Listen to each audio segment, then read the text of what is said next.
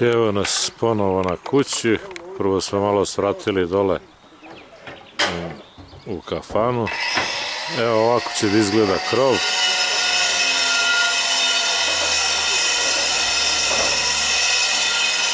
I ulaz u kuću.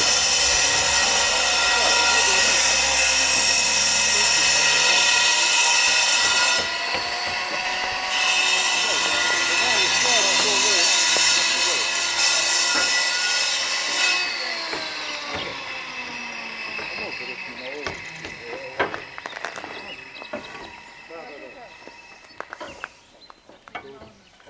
dobro, dobro, ali dobro, dobro.